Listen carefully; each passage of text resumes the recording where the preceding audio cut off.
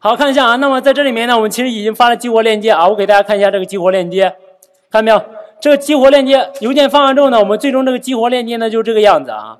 然后呢，useactive 后面这一段呢是你加密的一个信息，对吧？包含用户身份信息的一个加密的字符串。那么当用户呢他一点击这里的时候，他是不是就会访问你网站的这个地址？那么你想一下，在我的地址里面，我应该干地址对应的里面我要干嘛？好，首先我是不是要捕获这一部分，对吧？我捕获这一部分之后，我就可以呢对它进行一个解密啊。那么这一部分呢，我们就在这边，哎，写一个对应的啊激活的视图啊，激活的视图。那么这里面是我们的 reject 啊，在下面再来一个激活的视图，哎，比如说我就叫它，然后在这里面啊，直接写上一个叫做 class 啊，class 哎 active，比如说我叫 active 啊，然后呢写上一个 view。好，这里面呢有一个继承 view，哎，它呢就是这个属于这个用户激活啊，用户哎激活。那么这个用户激活的话呢，我们要给大家说一下，用户一点击这个链接，什么请求方式？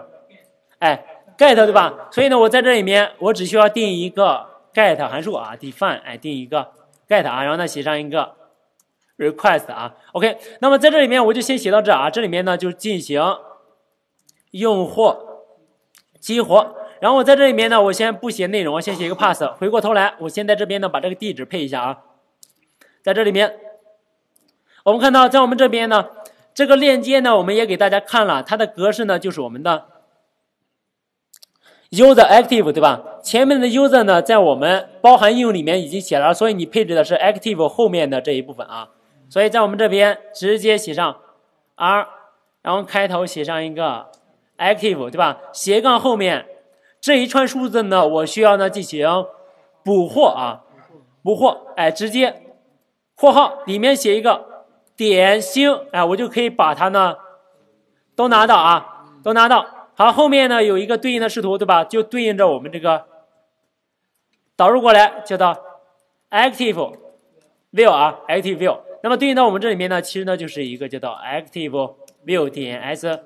View 啊，s view 好，里面写一个啊，name 叫做 active，哎，这里面呢就是用户激活啊，用户。好激活，OK，然后呢这个呢我们可以给它起一个名字啊，我就作为一个关键字参数来捕获，然后呢问号 p 哎写上一个 token 对吧？哎写上个 token 啊，那么我既然捕获了这个参数，它调我的时候呢，它就会给我传过来，所以我在这里面呢我需要去接收它啊，在这边加一个参数叫做。OK 啊，好，有了这个 token 之后，对吧？拿到这 token 之后，我们在这里面我们就要做了，对吧？首先有都有这个参数了，哎，我要进行一个解密啊，哎，进行解密，哎，那么解密呢，就是获取要激活的用户信息，对吧？哎，获取啊要激活的用户信息。那么我们给大家讲了，我们加密的时候呢，我们需要创建一个这个。对象，哎，你解密的时候是不是还创建一个对象，对吧？只要他俩这个解密钥和这个过期时间是一样的啊，就可以在这里面拿过来之后创建一个它，对吧？创建它之后呢，下面呢我就可以呢去解密了，直接调用这个对象的，它的这个方法叫做漏子，对吧？漏子里面呢，把这个 token 呢是不是给它拿过来，对吧？拿过来之后呢，最终我们说如果过期的话，你漏子的时候是不是报一个异常？对吧？这个异常呢，所以我们要把这个异常导过来啊，在这里面从我们的哎 dangerous 里面再导一个异常过来啊，from 哎 dangerous，好 import 我们的这个啊，就这样一个异常，把它导过来啊。如果过期的话，它就会出这样一个异常，所以我们在这里面，我就可以在下面呢解密的时候，我直接 try，然后呢写上一个 except，对吧？？except 是谁呢？就是这样一个异常，然后呢，我可以呢捕获一下它。好，我们先看这个异常这一部分啊。如果这个出了这个异常，说明这个激活链接已过期，对吧？那么我在这里面呢，哎，我就给它简单做一下啊。你要激活链接已过期，我就给你返回一个字符串啊，告诉你激活链接已过期。那么在这里面呢，我要去导入一个类啊，就是 from 我们的 Django 点 HTTP import 我们的 HTTP。Response 啊，response，OK，那么然后直接在这边返回啊，return 一个 ITP response，然后呢写上一个哎激活链接已过期。OK 啊，那么这是我们激活链接过期的这边，我们就这样做啊。然后呢，我们要给大家说的，这里面就是进行一个，哎，激活了，对吧？如果它没有错的话，你应该可以接到这个返回值。接完这个返回值之后呢，我们加密的数据的格式呢是这个样子的，对吧？所以呢，我要取出你激活的用户的 ID，你解密出来还是一个字典，我就可以呢根据这个 confirm 呢把这个 user ID 呢给它拿到啊。OK，那么在这里面，哎，获取激活用户的。ID 啊，获取我们的啊待激活用户的 ID 啊，然后在这里面，然后这个 ID 呢，其实呢就是 info，哎，中括号写上一个 confirm 对吧？confirm 啊，然后拿到这个 user ID，好，有了这个 user ID 之后，哎，下面要做啥了？好，根据对吧？根据啊 ID，哎，获取用户信息，对不对？获取用户信息啊，其实呢就是我们的。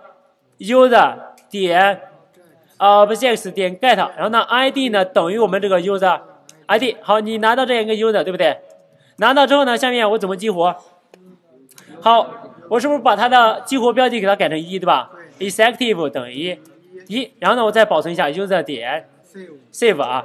OK，那么之后的话，哎，这里面少写一个括号啊，这是方法，对吧？做完之后，哎，下面呢，我们呢要进行一个处理啊。做完之后，我们应该返回一个应答。你比如在这里面呢，你用户你账户激活了啊，你可以呢进行一个登录，哎，我就直接给你跳转到这个登录页面啊。